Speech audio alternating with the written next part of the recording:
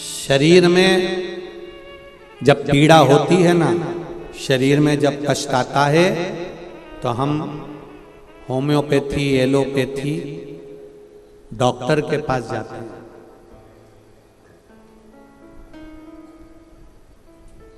शरीर में जब कष्ट हुआ शरीर में जब पीड़ा हुई शरीर में जब दुख हुआ शरीर में जब पीड़ा हुई तो हम होम्योपैथी, एलोपैथी डॉक्टर के पास जाते हैं और उनसे थोड़ी सी दवाई लेकर अपने शरीर की पीड़ा को मिटाते हैं। उसी तरह शरीर में पीड़ा होती है, तब हम डॉक्टर ढूंढते हैं।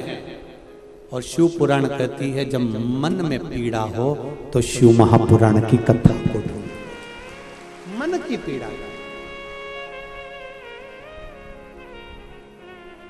अपने भीतर की जो पीड़ा है, अपने अंदर की जो पीड़ा है।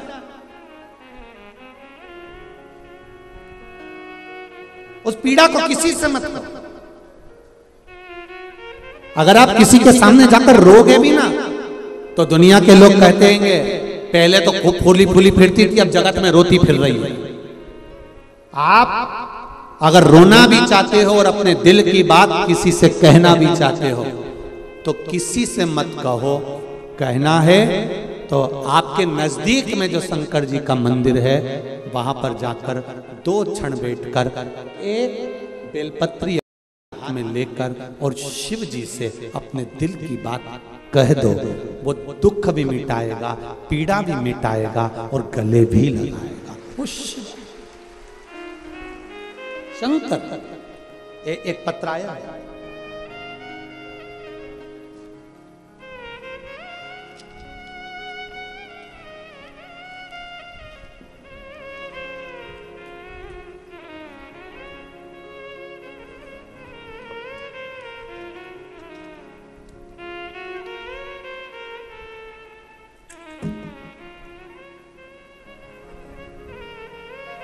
मैं आयुषी साहू शिवानंद नगर रायपुर से हूँ। कहीं बैठी हूँ आयुषी जी तो हाथ हिलाइएगा। आप ही हैं?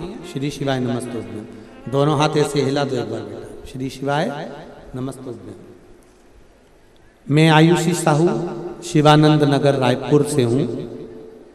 शिव की भक्ति का मैं क्या वर्णन करूँ? पंडित जी, मेरे पास में शब्द नहीं है। पहला मेरी माता का नाम पुष्पलता साहू है जिसका मैं फ़ोटो डॉक्टर के यहाँ पर जब वेंटिलेटर पर मेरी माँ पड़ी रही उसका फ़ोटो में लगा रही हूँ।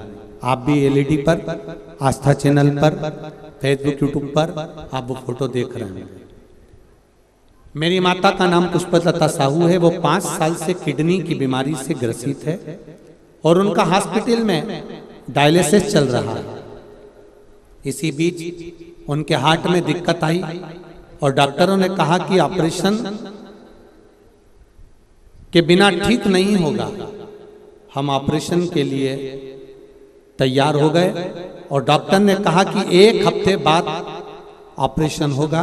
इसी एक हफ़्ते में माता जी ने आपके द्वारा बताया गया पीपल के पत्ते वाला उपाय करना प्रारंभ करा। डॉक्टरों ने जाँच करी जब एक हफ़्ते का जो समय मिला, उसमें हमने पीपल के पत्ते वाला प्रयोग करा, क्योंकि हम लोग भी पढ़े लिखे हैं, हम ये सब चीज़ों पर विश्वास नहीं करते थे।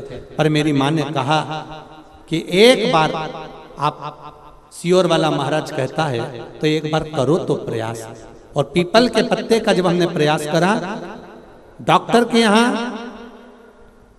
हम वापिस जब लेकर गए, तब 20 दिन तक डॉक्टर ने 20 दिन के बाद हमको जब बुलाया और हमने जब वापिस जाकर उनको दिखाया दिखाने के बाद उनको पुनः फिर तेज बुखार आया और बुखार आने के बाद फिर हम उनको वापिस लाए और आपने जो पीपल के पत्ते वाला प्रयोग बताया, वो करना प्रारंभ करा। गुरुदेव, हम उनको वापिस हॉस्पिटल ऑपरेशन की तैयारी कर कर लेकर गए और डॉक्टर ने जाँच कर कर कहा, इनका ऑपरेशन कराने की ज़रूरत नहीं पड़ेगी, ये दवाई से ठीक होना प्रारंभ हो गई। ये दवाई से ठीक होना प्रारंभ हो गई हैं। गुरुदेव अब बाबा की कृपा से उनका हार्ट का ऑपरेशन नहीं हुआ और वो धीरे धीरे ठीक होती चली जा रही हैं। बाबा की कृपा इस साल होली में माँ के मुँह में लकवा भी लग गया। शरीर में इतनी कमज़ोरी थी कि डॉक्टर ने कहा एडमिट होना पड़ेगा। मम्मी ने कहा दवाई ले आओ एडमिट हो जाऊँगी मना नहीं। शिवजी पे चढ़ा हुआ एक लोटा पानी दवाई के साथ शिवजी को समर्पित कर कर खाना प्रारंभ करा, जल लेना प्रारंभ करा और मुँह का लकवा भी धीरे धीरे ठीक हो गया। ये शिव है। शंकर, बैठो बेटा। श्री शिवाय, नमस्ते।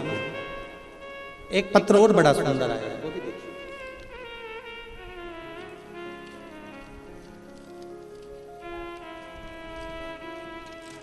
तेरी कृपा बिना न हिले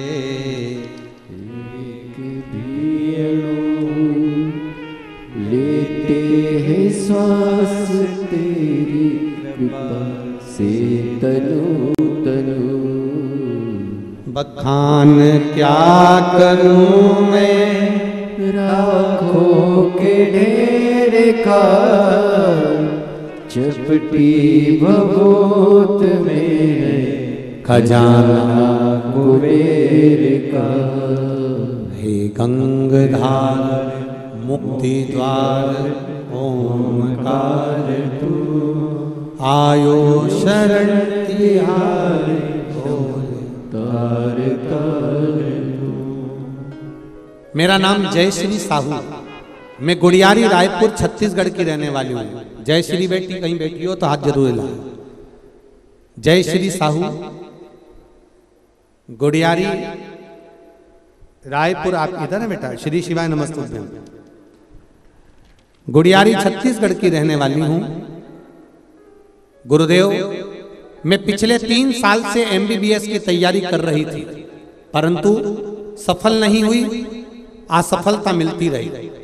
फिर मैंने आपकी कथा श्रवण कर कर शिवलिंग पर एक लोटा जल और बेलपत्री में शहद लगाकर शिवलिंग पर चढ़ाना प्रारंभ किया।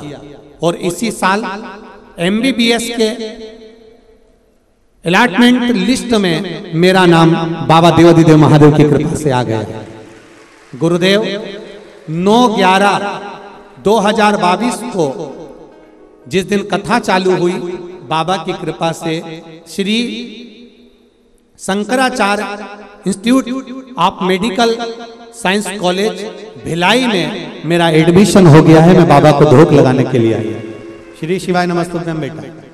खुश हो गए अब तो? श्री शिवाय नमस्तुभ्यम। ऐसे ही निवेदन करूँगा जैसा कर्माबाई ने खिचड़ी खिलाकर भगवान को साहू समाज का गौरवान्वित नाम किया ऐसे आप भी डॉक्टर में गौरवान्वित